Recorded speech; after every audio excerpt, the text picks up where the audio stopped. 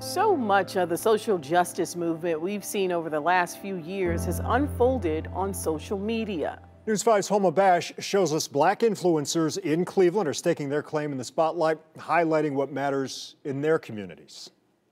In the middle of gray skies and snowfall, these murals sprinkled throughout Cleveland give us some much needed color. We know the murals, so we've seen the love doves, we've seen the welcome to Cleveland sign, but there was nothing really that depicted me. Shayna Black is the founder of Black Girl in the CLE, a blog, a podcast, a social media presence that seeks to empower. We started just telling a lot of stories that are um, impacting the black community. And so we always frame it from a, a positive or solutions based space because we know that news can get sometimes overwhelming and make people more upset or more depressed. When Shayna started her accounts nearly five years ago, it was all about where to go, what to do in Cleveland, catering to an audience of African American women. But when COVID hit, she had to pivot. So for the last nine months, she's been taking people on a mural tour of our city, sharing these sometimes hidden masterpieces. We thrive on telling great stories, and it just seems like every day there's a new piece of black history being made. Finding week after week, day after day,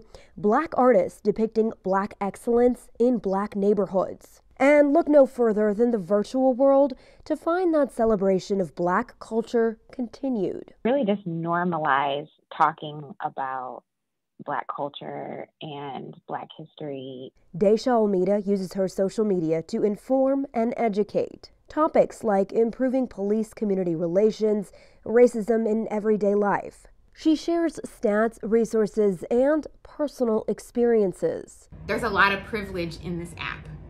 There's a lot of privilege in the blogger community. While Daisha's following isn't huge yet, she says her goal is to actually reach accounts with bigger audiences and get them to speak out. And they have a different type of audience who may not be as informed and may not know why this is so important or may not know why, you know, it's hurtful to, to be silent. Um, you know, they can they can reach them the people that I can't reach. Learning what you don't know makes all of us better. Because when you take a stroll through Cleveland or a scroll through social media, instead of black and white, we find a world saturated in all shades. Homa Bash, News 5. Important stuff and beautiful work. Holy cow. Important for us all to celebrate this right? Black History Month. Yeah.